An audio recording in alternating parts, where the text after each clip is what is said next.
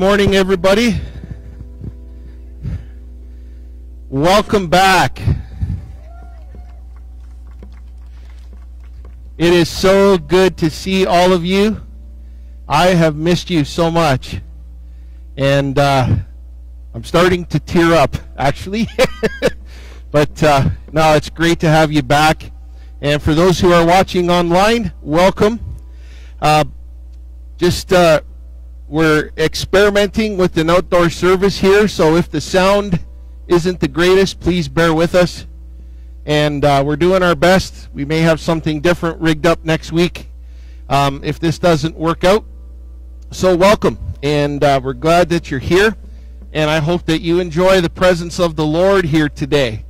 So, if you love Jesus, give him a big shout of hallelujah. Amen. All right. Let's pray. Father, we just thank you, Lord, for giving us this beautiful day.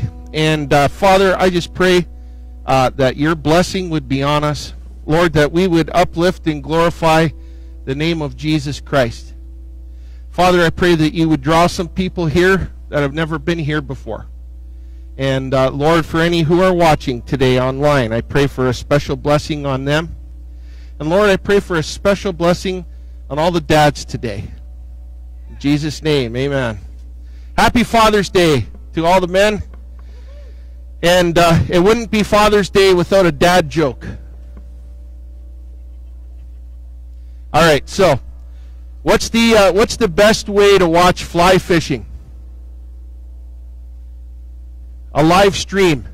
All right, here we go. If you want to stand, you can. If you want to be seated, by all means, enjoy your freedom in the Lord as we sing. You have song sheets inside your bulletin, and you can follow along there. We're doing this old school today.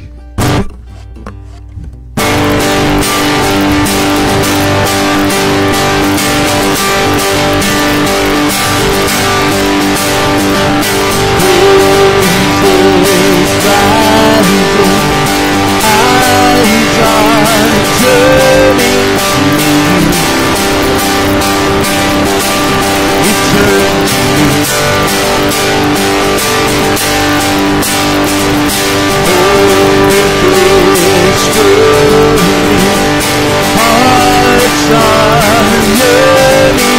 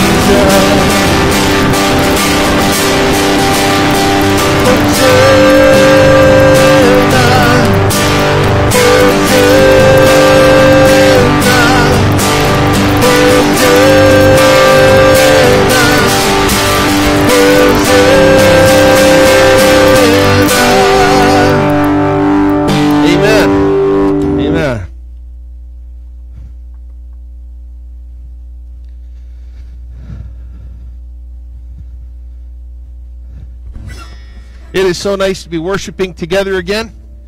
Beautiful day. We're looking forward, though, to when they give us the okay to go back into our air conditioned building. and, uh, yeah, amen. This one might be uh, be new to some of you. It's certainly not a new song, but it's a beautiful song by Paul Baloche. It's called King of Heaven. And if you know it, sing it extra loud.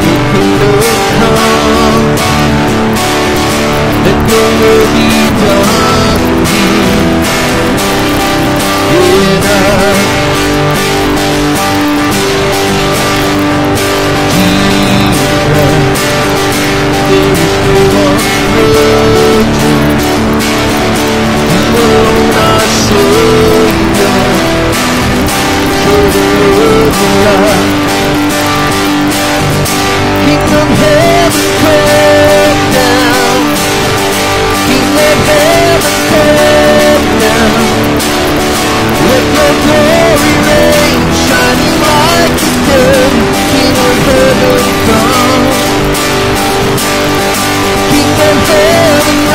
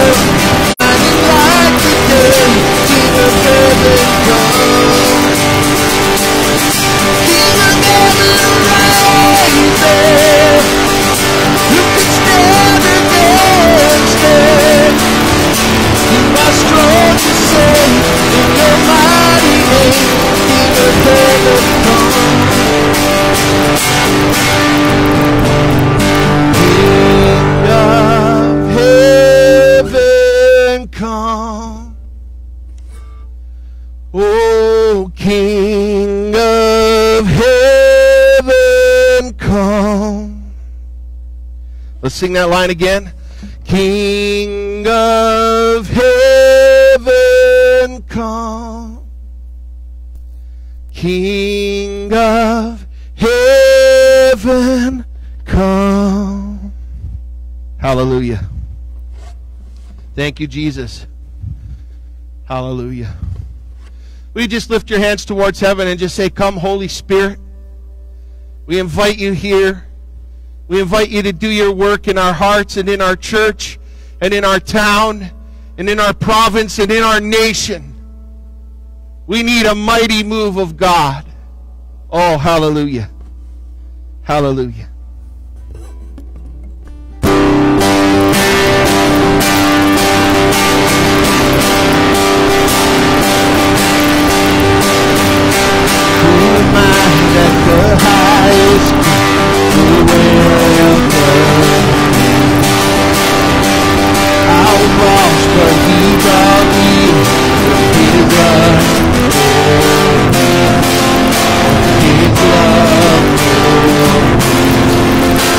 to see.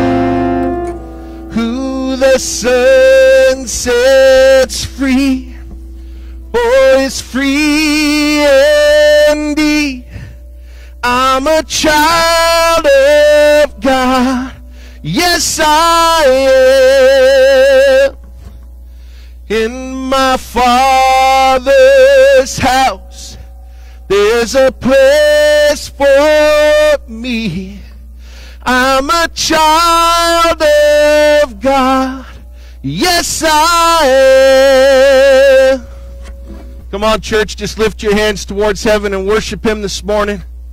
King of kings and Lord of lords.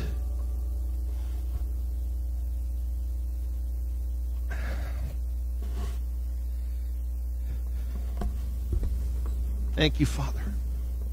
Bible says in John chapter 14, this is the words of Jesus, let not your heart be troubled, neither let it be afraid. You believe my Father, and now trust also in me.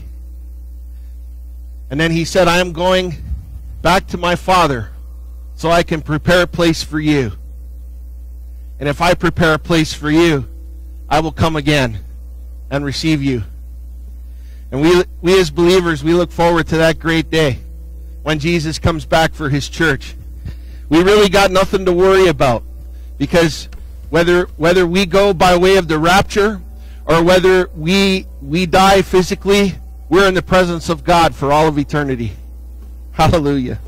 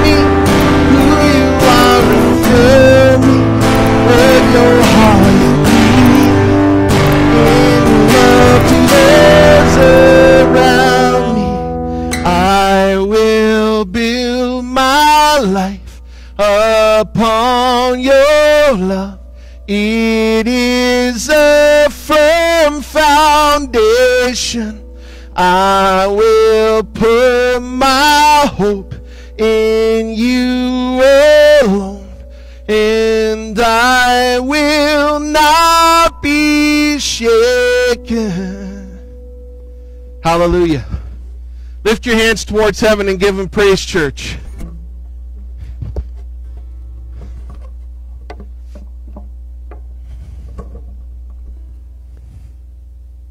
Thank you, Jesus.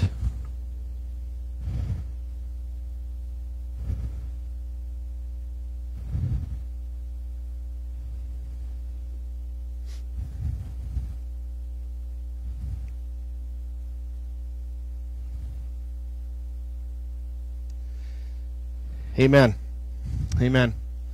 Heavenly Father, we just thank you for your goodness and your grace. And we thank you for your great love. And we thank you for giving us this day to assemble together. We're grateful for that, Lord. Lord, we pray for those in authority over us that you would give them wisdom as they lead, as they lead us through this pandemic. Father, that there would be a nationwide turning to you. We pray, God, for all of those who are still sick by this virus, that you would touch them in the name of Jesus. Lord, you are the great physician. There's nothing too impossible for you. Lord, we rebuke cancer in the name of Jesus. We speak healing, Lord, into sick bodies. We, speak, we speak uh, restoration, Lord, into broken marriages and into broken families. And Father, we pray for a mighty, mighty move of God in our nation. We ask these things in Jesus' name. Amen. Amen. So if you're close by your family, you know, give each other a big hug and give a little wave to everybody else.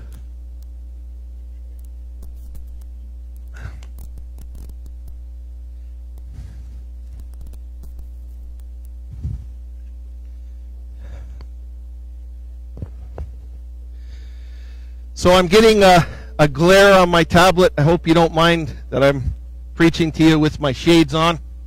I'm not trying to look cool. I because I know that I look cool even without them. So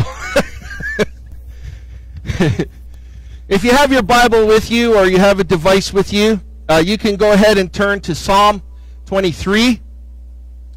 And you can take out your message notes, which are which are on your bulletin. Um, for those watching online, there's a link uh, from my post yesterday uh, where you can download message notes and follow along there.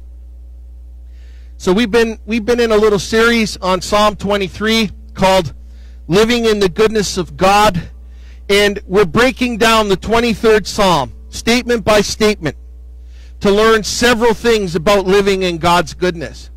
Folks, I believe that God is, is, is a good God, and I believe that He wants to be good to you, and He wants to be good to me. now, life is a series of choices. Uh, we make our choices, and then our choices make us. We make our decisions, and if we make good decisions, we become successful, and if we make bad decisions, then we have to live through the consequences of that.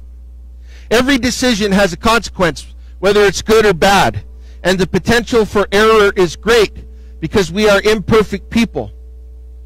Now, maybe some of you who are watching today or some of you who are in attendance today are struggling with a difficult decision. Indecision is one of the greatest sources of stress in your life. And yet, your Heavenly Father does not want you to be stressed out.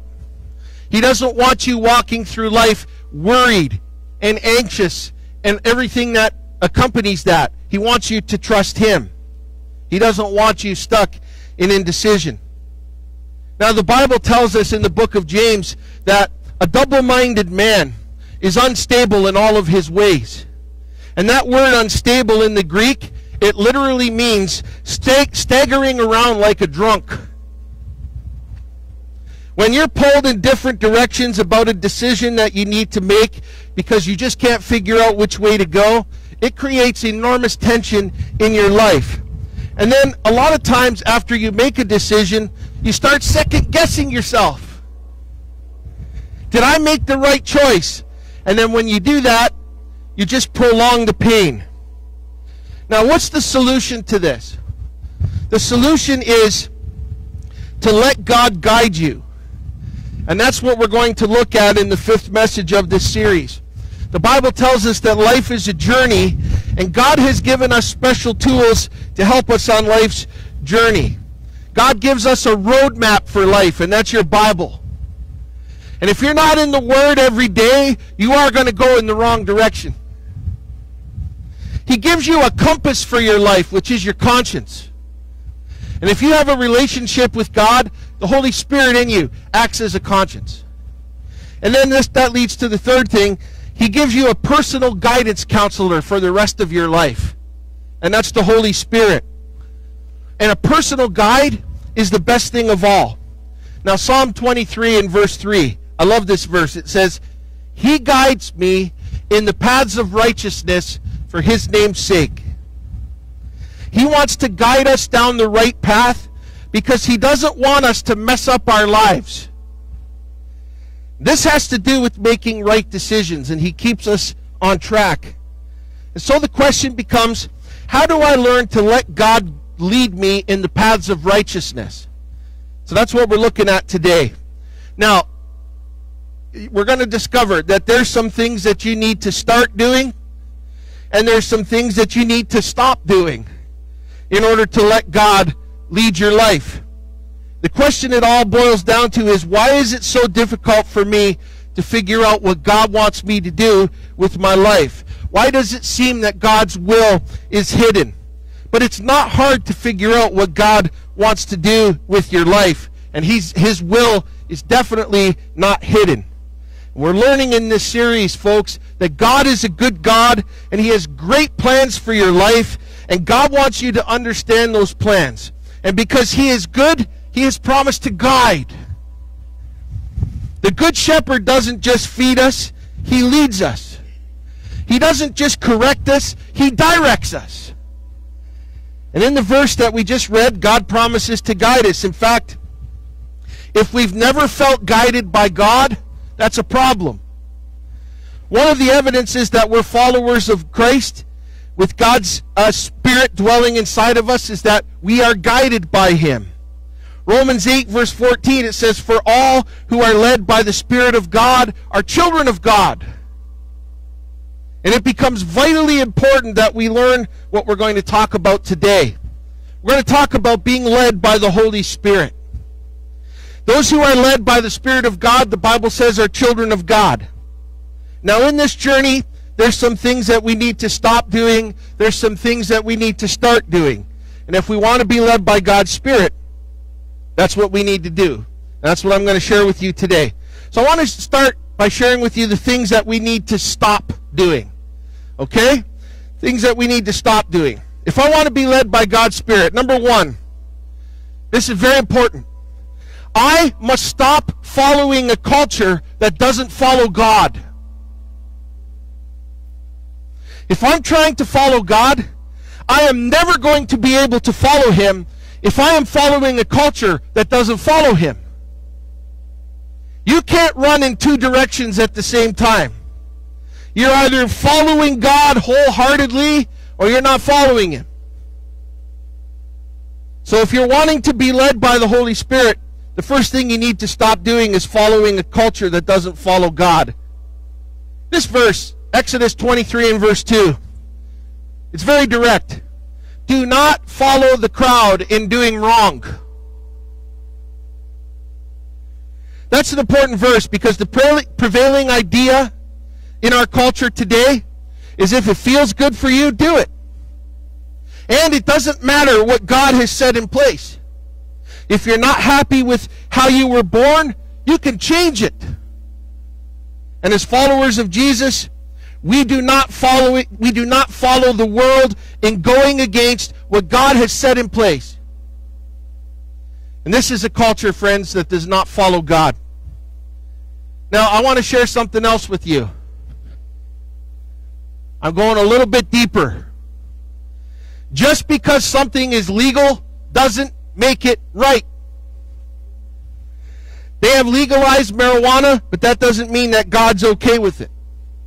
They've legalized all kinds of things, but that doesn't mean that God's okay with it.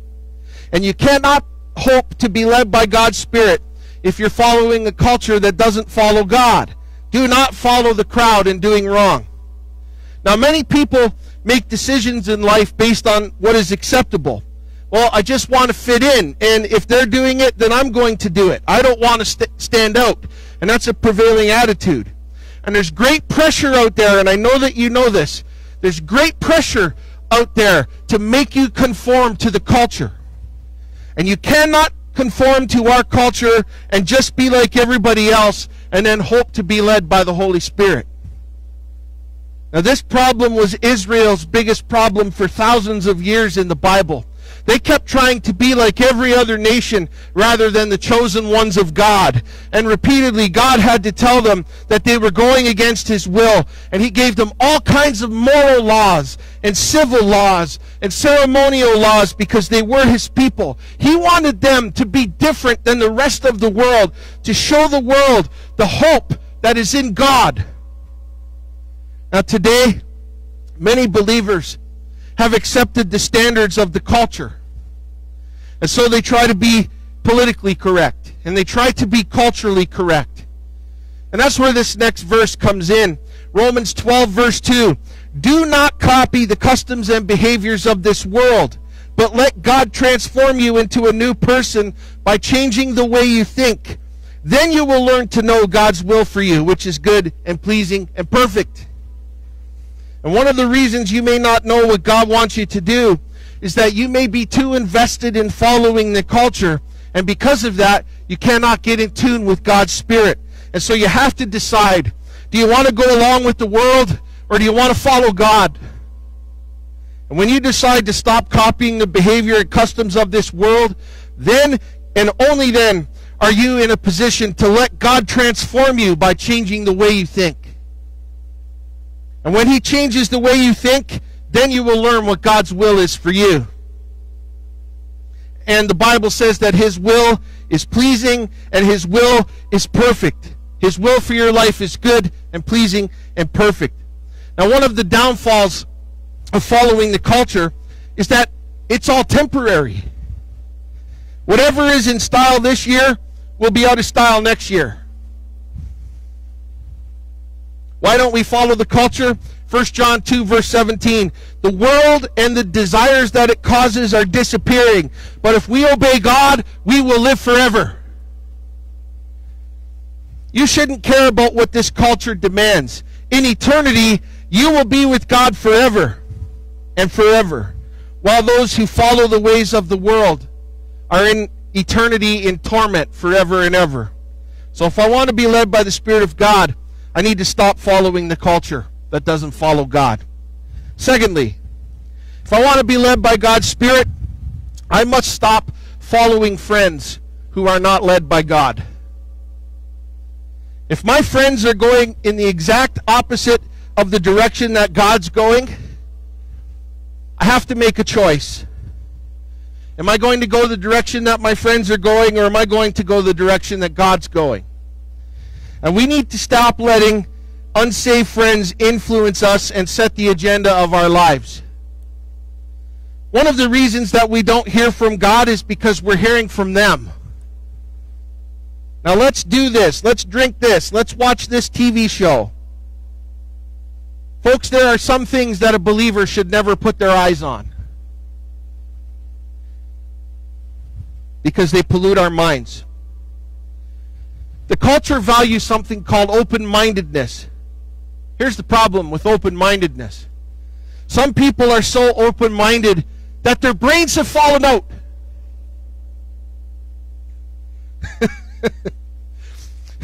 All the garbage we put in our minds is never forgotten. Did you know that? It's never forgotten. Have you ever wondered why you have weird dreams?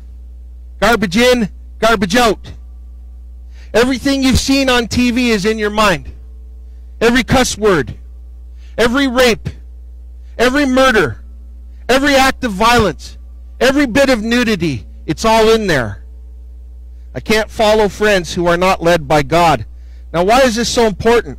One of the things that causes people to miss God's will for their lives is peer pressure.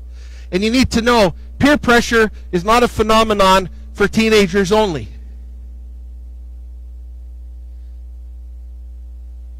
You can get peer pressure at work. You can get peer pressure at get togethers. 1 John 3, verses 7 and 8. It says, Let no one deceive you, my children.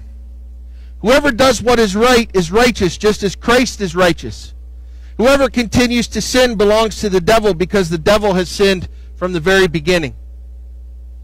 If I have a friend at work that starts to brag about all the girls that he's been with, and I listen to it and I laugh at it, and I don't take a stand, I'm following that friend. And according to this verse, who am I following? So what do we do about it? Proverbs 13, verse 20. Whoever spends time with wise people will become wise, but whoever makes friends with fools will suffer. In other words, you can't soar with the eagles if you're busy running around with the turkeys. Choose your friends wisely. And if you want to follow God's direction, I cannot let culture get me off track. And I can't even let friends get me off track. Now, am I saying that God wants you to give up your non Christian friends? Well, maybe in some circumstances, but generally, no, I'm not saying that. God does want you to have some friends who are un- unbelievers, but God wants you to influence them. Jeremiah 15 and verse 19 says, You will be my spokesman. Let this people turn to you, but you must not turn to them. The Bible teaches that we're to love the people of the world, but we're to hate the value system of the world. So if I want to be led by God's Spirit, I can't follow the culture that doesn't follow God. I can't follow friends who don't follow God. And then third, I must stop looking to other sources besides God. If I'm looking for direction in my life, the best place to look is not on a TV talk show. The best place to look is the Word of God. And then talk to the Creator who made you. That's where you're going to find direction for your life. There's many other sources that want to tell you how to run your life. Let me forgive you for instance. I've known people over the years looking for direction for their lives and they believe they can pray to God and read their horoscope. Really? That's like saying, I believe in reincarnation and heaven at the same time. If you're a follower of Christ, don't even look at that section of the newspaper. Okay? You can't believe in, in God and that. They're mutually exclusive. God wants us to look to Him instead of other sources for guidance. And some people say, well, Pastor, it's just harmless fun. It is not harmless because when you look at that, you open the door to spiritual oppression in your life. By the way, when you're trying to find out about the future and you're going to sources other than God, the Bible calls that divination. And there are all kinds of things out there that offer this. Psychics. You know, all over the place. Maybe not right now during the time of COVID, but all over the place, they have psychic fairs where you can go in and pay them to tell you your future. Fortune telling and tea leaf reading, Ouija boards, horoscopes. You know, in ancient days, they used to kill an animal and cut out its liver and read the liver for direction for your life. Isn't that crazy? You can read about that, by the way, in Ezekiel 21 where the king of Babylon, looking for a sign as to what to do, killed an animal and looked at the liver. Deuteronomy 18. Let no one be found among you who sacrifices his son or daughter in the fire, who practices divination or sorcery, interprets omens, engages in witchcraft or casts spells, or who is a medium or spiritist, or who consults the dead. Anyone who does these things is detestable to the Lord. So if you're into any of these things, God wants me to tell you, as your pastor who loves you, stop it!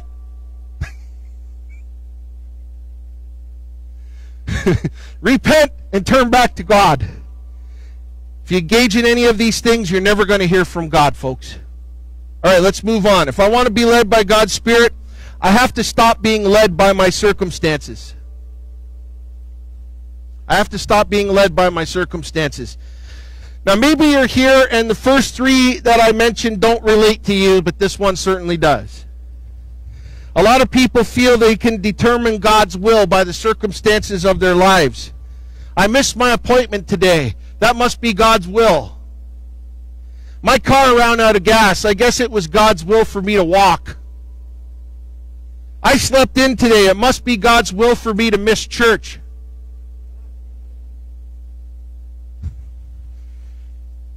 You're skating on thin ice if you organize your life around the circumstances. There's lots of stories in the Bible where the circumstances are the exact opposite of God's will. I think of the story of Jonah, where God said to Jonah, I want you to go to Nineveh and preach to them.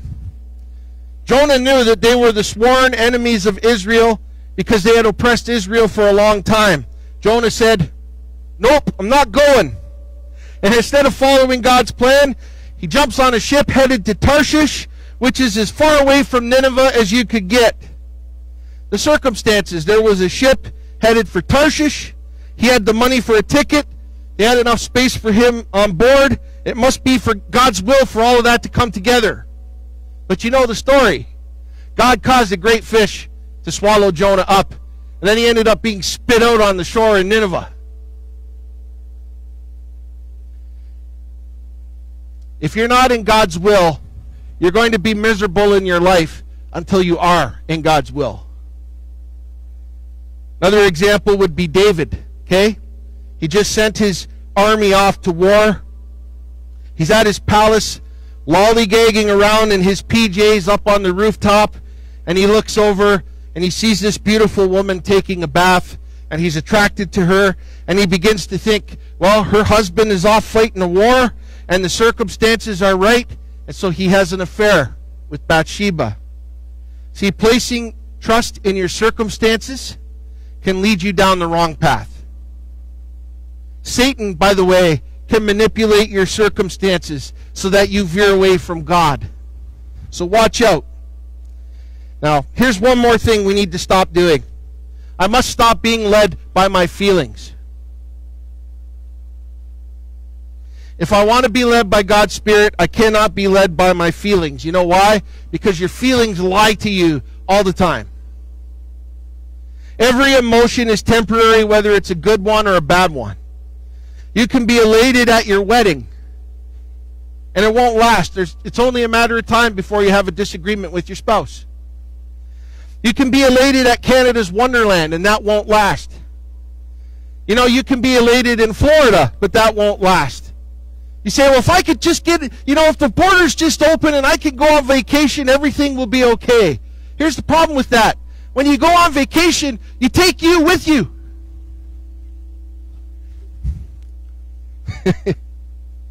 now, the same is true on the opposite end. If you're discouraged, it's not going to last. If you have a panic attack, it's not going to last. No emotion can stay at the same level of intensity all the time. Now, a lot of well meaning people, and I might add a lot of well meaning Christian people, will say, let your conscience be your guide. And I hate to tell you this, but your conscience can also be wrong. Jeremiah 17 and verse 9, it says this The heart is deceitful above all things and beyond cure. Who can understand it? We lie to ourselves more than we lie to anybody else. Just because we think it doesn't make it true. Just because it's popular doesn't make it true or right. Now, a lot of people, maybe most people, base their decisions on how they feel, feel but feelings lie. We need to base our lives on, on decision making truth. Now, check out this verse Proverbs 14, verse 12. There is a way that seems right to a man, but in the end it leads to death. The contemporary English version says it like this You may feel you're on the right road and still end up dead. The result of trusting your feelings? Isaiah 53, verse 6. We all, like sheep, have gone astray. Each one of us has turned to his own way. These are all the things that we need to stop doing if we want to be led by God's Spirit. Now, what are the things that we should start doing? Now, these are very easy to understand, and these are going to be a lot quicker. If I want to be led by God's Spirit, number one, I must want to be led. I have to desire it first. The only way I could think of to demonstrate this desire. Imagine somebody holding your head underwater to the point where you are desperate to breathe air. We need to be like that in our desire to be led by the Spirit. Are you craving the presence of the Lord like that? Like it's a matter of life or death? That you need God's presence in your life? If you don't have intensity and passion in your prayer life to know God's will, don't be surprised if you don't find out what it is. Psalm 40, verse 8 I desire to do your will, O my God. Your law is within my heart. So if I want to be led God's Spirit, I need to really want it. How bad do you want it? Do you crave it like you crave a drink of water? Second, if I want to be led by God's Spirit, I must be willing to do what God says. I need to be willing to obey in advance. You need to be willing to pray something like this God, I don't know what your will is for my life, but whatever it is, I say yes right now. God doesn't give you his will for your life, and then you choose whether you want to do it or not. It's about trusting him. You need to be willing to surrender your life completely to him. John 7, verse 17, Jesus said, Anyone who will of God will know whether my teaching is from God or is merely my own.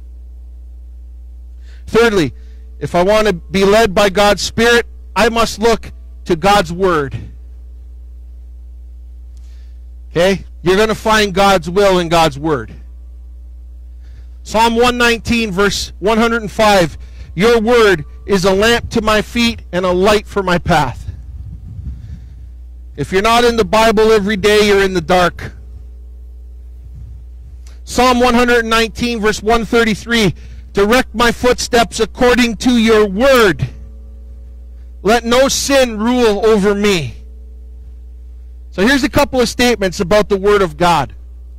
Number one, and I mentioned this just a minute ago God's will is found in God's word. Most of God's will is already revealed. No, the name of your spouse is not in the Bible. Okay? The principles are there for how to find the right spouse, though. But as you read God's Word, He speaks to you. When you open your Bible, God opens His mouth. When you close your Bible,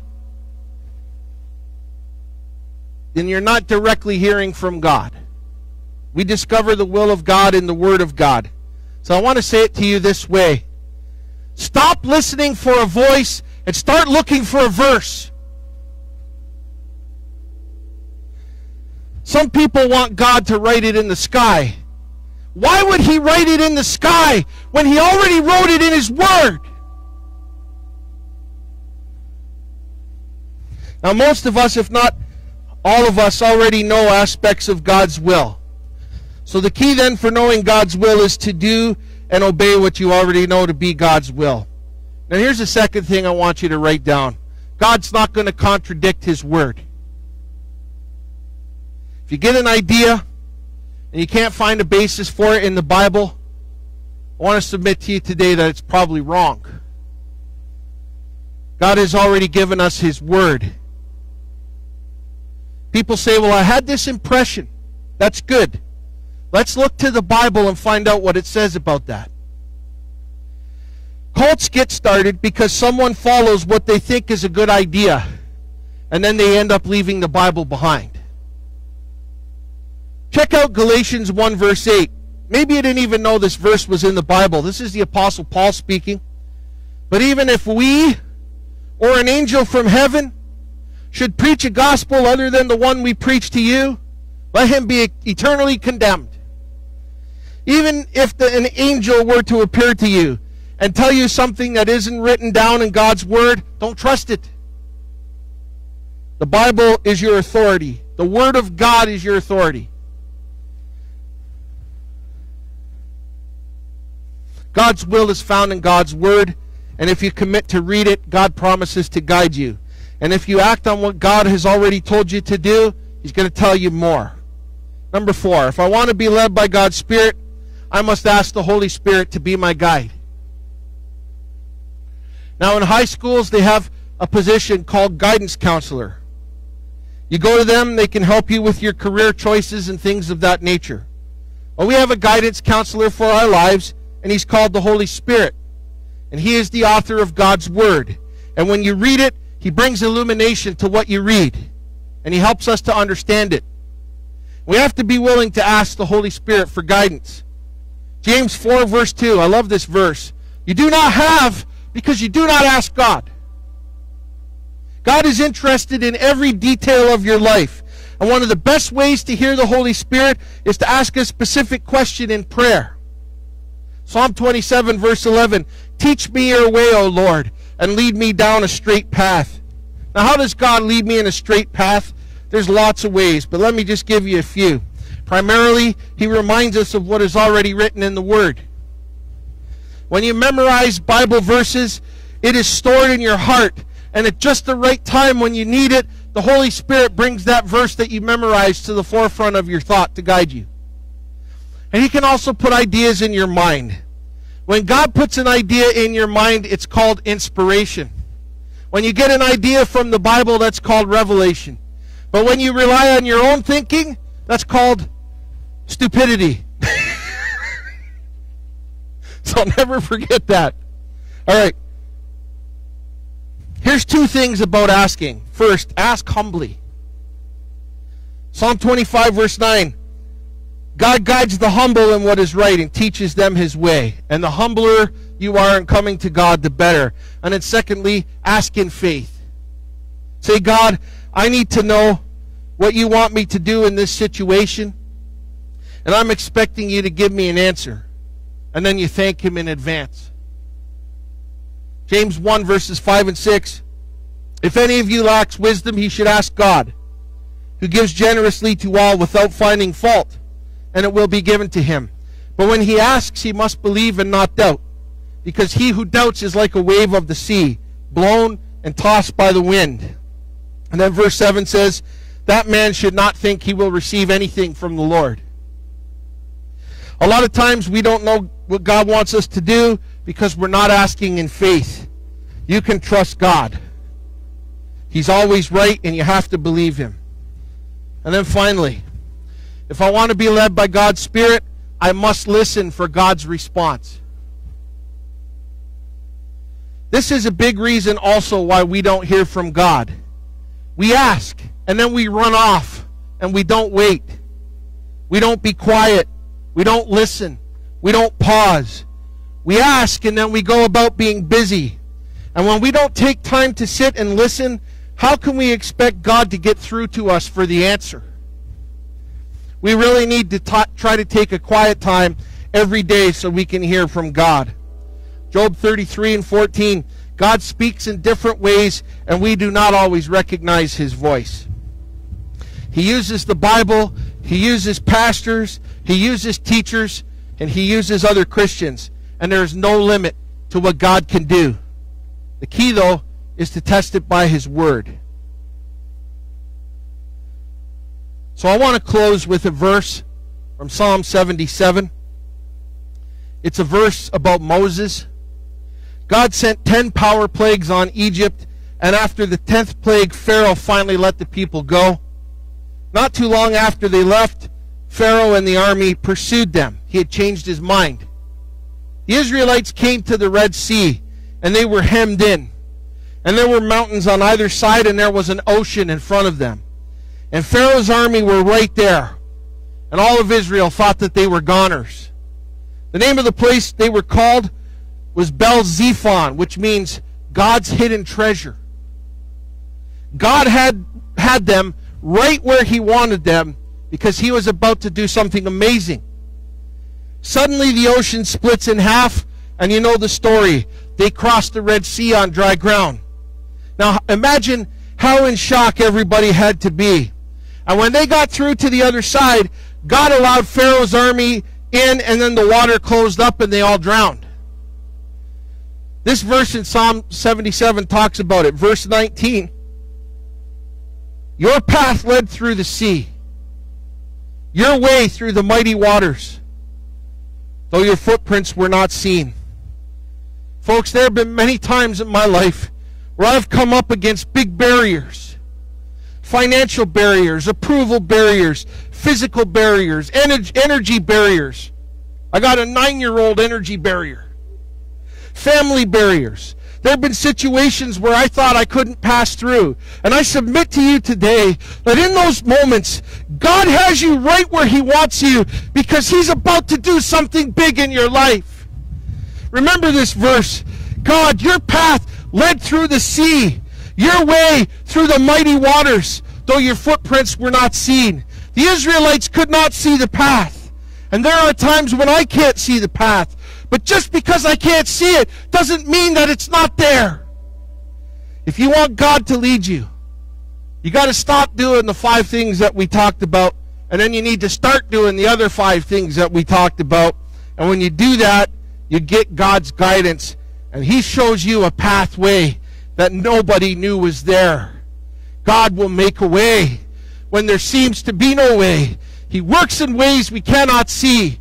He will do the same for me he will be my guide and hold me closely by his side. Hallelujah. Hallelujah. Well, let's just bow our heads for a moment.